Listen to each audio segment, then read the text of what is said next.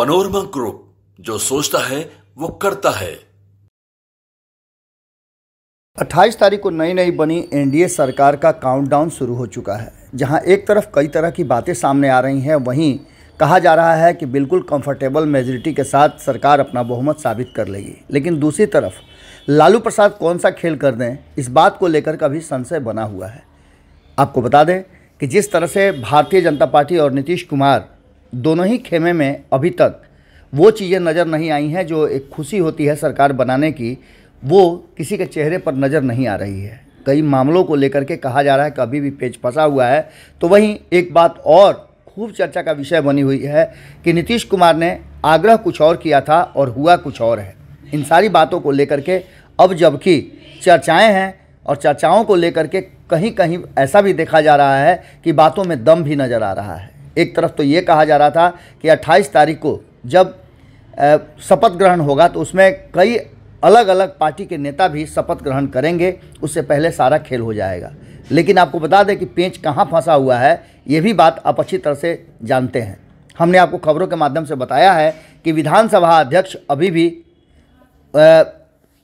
जिस तरह से अड़े हुए हैं, डटे हुए हैं अवध बिहारी चौधरी ने साफ़ कर दिया है और एक तरफ़ से आप समझ लीजिए कि ये बातें भी लगभग क्लियर है कि अब जो स्थिति सामने आई है, उसमें अवध बिहारी चौधरी इस्तीफा देने वाले नहीं हैं। वो फ्लोर टेस्ट तक बने रहेंगे और कई तरह की संभावनाओं पर विचार चल रहा है। एक तरफ़ जहाँ नई नई सरकार बनाने वाले नीतीश कुमार और भारतीय जनता पार्टी संभावनाओं पर विचार कर रहे हैं तो वहीं दूसरी तरफ़ राष्ट्रीय जनता दल और महागठबंधन भी अपनी कोई भी संभावना से पीछे नहीं हटना चाहता है। यहाँ तक कि आपने देखा कि जो विधायक हैं उन्नीस कांग्रेस के, जिन पर ये आरोप लग रहा था कि वो कभी भी पाला बदल सकते हैं, उनको हैदराबाद ले जाया गया है। खबरों के माध्यम से हमने आपको ये भी बताया कि उन्हें हैदराबाद में क्यों ले जाया गया है, ये बातें हम बता तो रहे हैं, लेकिन कांग्रेस कह रही है कि वो नई सरकार बनी है, इसलिए एक साथ घूमने गए हैं। खैर, इन सारी बातों से अलग, अब नीतीश कुमार के पास ऑप्शन क्या है? तो एक तरफ़ जहाँ ये नज़र आ रहा है कि अगर मेजोरिटी साबित कर लेते हैं, तब भी नीतीश कुमार और भारतीय जनता पार्टी आगे संतुष्ट नहीं रहेंगे, क्योंकि दोनों में ताना तानी और रस्साकसी शुरू हो चुकी है। अब बता दें आपको कि इन सारी बातों को लेकर के जहाँ एक तरफ़ मंत्रिमंडल के बंटवारे में जिस तरह की बातें देखने को सामने मिली, बिल्कुल उसी अंदाज में अब मंत्री परिषद के सदस्यों को लेकर के भी खींचतान चल रही है। भाजपा के कई चेहरे हैं जिसको नीतीश कुमार पसंद नहीं करते हैं और उसे मंत्रिमंडल में शामिल नहीं करना चाहते हैं। तो वहीं आपको बता दें कि कहा यह जा रहा है कि जब फ्लोर टेस्ट की बारी आएगी तो नीतीश कुमार अपने हाथ खड़े करने वाले हैं। भारतीय जनता पार्टी अब क्या कर सकती है जब जदयू के लोग ही इधर उधर हो जाएँगे? हालाँकि भारतीय जनता पार्टी पर यह दबाव है कि वो सरकार को कैसे बचाएगी। इन सभी के बीच आपको बता दें कि लगातार चर्चाएँ चल रही है कि जदयू के कई ऐसे विधायक हैं जो फ्रेम से बाहर हैं।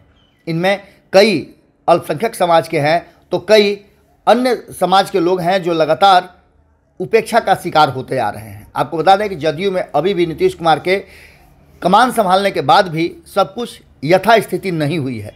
कई नेताओं को लेकर के लोगों में रोष है और कई नेताओं से लोग परेशान भी हैं। उनके साथ और उनको आगे देख करके कई लोग अपना मूड बदल सकते हैं।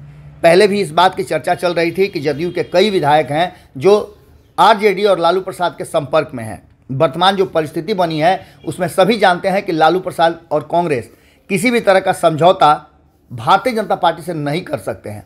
ऐसी स्थिति में जो लोग भारतीय जनता पार्टी के अगेंस्ट काम करना चाहते हैं, उनके लिए एक रास्ता हो सकता है। वहीं जीतन राम मांझी के बयान भी बहुत कुछ कहानी कह रहे हैं। अब ऐसी स्थिति में लालू लालू प्रसाद क्या करेंगे, ये अलग बात है, लेकिन नीतीश कुमार को दिल्ली तलब किया गया है और प्रधानमंत्री नरेंद्र मोदी से उनकी मुलाकात होनी है।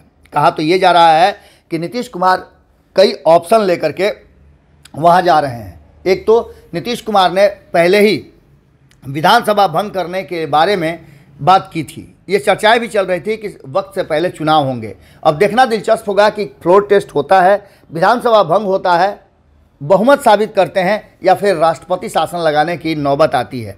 ये सारे ही ऑप्शन इस बात की तरफ़ इशारा कर रहे हैं कि सरकार अभी पूरी तरह से सुरक्षित नहीं है। लालू प्रसाद क्या खेल करेंगे? ये तो आने वाला समय बताएगा, लेकिन कहीं ना कहीं इस नई सरकार में अभी भी असमंजस की स्थिति बनी हुई है। लालू के खेल में कितना दम है, ये देखना अभी भी बाकी है, क्योंकि इससे पहले भी नीतीश कुमार को कई बार लालू प्रसाद झटका दे चुके हैं। अब ये भी बात चल रही है कि एनडीए में भी लालू प्रसाद के शुभचिंतकों की कमी है। ऐसे में क्या होगा? नीतीश कुमार का ये भी देखना कहीं ना कहीं एक अलग तरह की बात होगी। नीतीश कुमार एनडीए में आए हैं, तब से एनडीए का स्थिति भी ठीक नहीं है। कई जो पुराने साथी हैं, वो भीतर ही भीतर काफ़ी नाराज़ नज़र आ रहे हैं। इसका क्या निकलेगा रिज़ल्ट, वो 12 तारीख को पता चलेगा, लेकिन उससे पहले नीतीश कुमार और प्रधानमंत्री नरेंद्र मोदी की मुलाकात के बाद क्या निकल करके सामने आता है इंतज़ार कीजिए हमारी नज़र पूरी तरह से बनी हुई है।